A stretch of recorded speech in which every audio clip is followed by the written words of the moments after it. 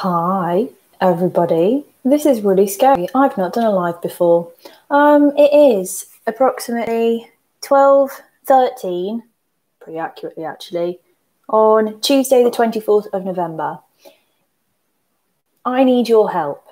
I need your help because there's something that's going live now that I need as many photographers as physically possible to join and do. It's just a survey, so it's nothing particularly exciting, but the more people we can get to complete the survey, the better.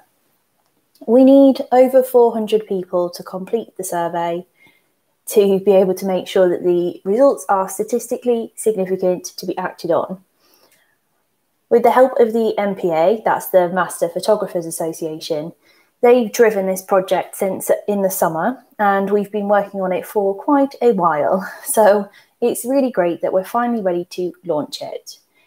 In the description box below, there is a link, and that link will take you to a survey. And the more photographers we can have complete the survey, the better it's really important for me that mental health and well-being is taken seriously and specifically within the arts and creative industries mental health is a massive problem. Um, you guys know that i'm not shy about my own mental health situation but i know many people within the industry who have had really really difficult times. Not just this year although this year has been pretty shocking um, but every year before that as well sometimes with really tragic consequences. So, for me, it's important that we try to create positive change within this industry that is so amazing for us all and gives us all, in most cases, a bit of a lifeline. So, all I can do really is ask you very nicely to please, if you are a photographer, wherever you are in the world, please click the link in the description below find that survey, just complete it as honestly as physically possible. And on the 4th of December, we'll close the survey, we'll count the results, and we'll create a report.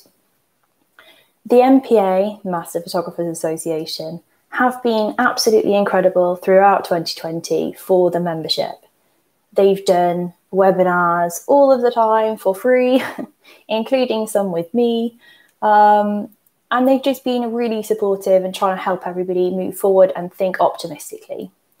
So, with a view to making sure 2021 is better than 2020 has been for us, please do complete that survey, share any insights and ideas that you guys may have, and we will go back and look and solve and problem solve and create solutions where previously there were none or there were none in place.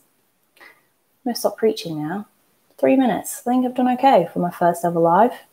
And um, I'll leave that with you. Thanks a lot. Thanks for joining.